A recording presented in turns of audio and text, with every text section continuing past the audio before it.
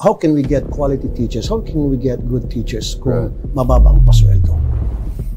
Senator, beyond yung pointing out yung culture of bullying and trying to protect people, are are you also, you know, do you have a kind of initiative to help na talagang iakyat yung antas, yung kalidad ng edukasyon, especially sa basic education? I think it starts with the teachers. Uh, Dapat kung, how can we get quality teachers? How can we get good teachers kung mababa ang pasweldo? And some of these teachers are being abused dahil are being uh, taken advantage of. yeah.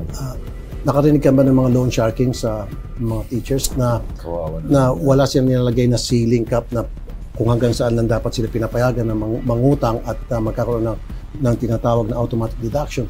Marami mga teachers lubog sa utang. So, paano pa ma-concentrate na magtuturo na iniisip nila yung paano mabayaran yung utang at ang bababa ng sweldo. So, some teachers would rather go abroad in Singapore, in uh, uh, Brunei, because the, the pay is Yeah. better. So, hindi tayo makakuha ng better teachers kung ang sweldo natin sa mga teachers ma- mababa at kuminsan na take advantage pa sila.